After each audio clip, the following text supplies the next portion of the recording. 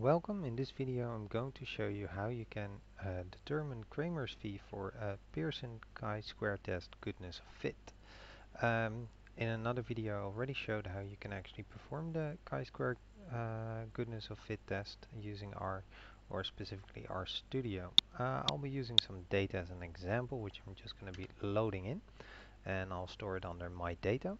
And what we'll be needing is a frequency table in this case of uh, the merit. So control enter to load that into the console. And I will also be needing the number of rows. So control enter to load that into the console. So in this case there are five rows actually and uh, we need the expected proportions for each category and that's simply going to be uh, equal for all I'm assuming. So that's 1 over the number of categories and that 5 categories long. So proportions will be stored under prop. Then um, for later on also useful is the total number.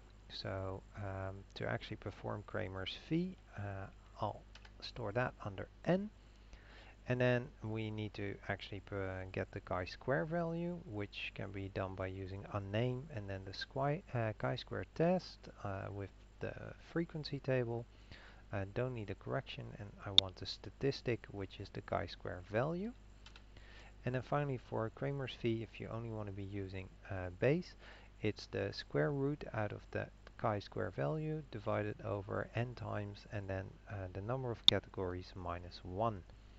So I'll load that one in and then actually show v uh, which turns out to be 0.4011071. Now if you don't want to remember this formula and this one you can actually also use a package uh, the LSR package. I already installed it so we'll not be loading this line. Uh, I'll simply load it in. So a library LSR is now loaded and then Cramer's V and then that frequency table and hopefully that gives indeed exactly the same result. There's also a desk tool package uh, which also has Cramer's V um, so I already installed it so I won't be uh, using that line. So if you don't have this package uh, I'll run this one.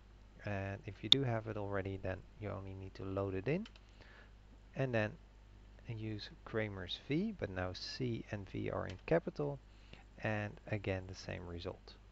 So that's how you can actually uh, get Cramer's V for a goodness of fit using R.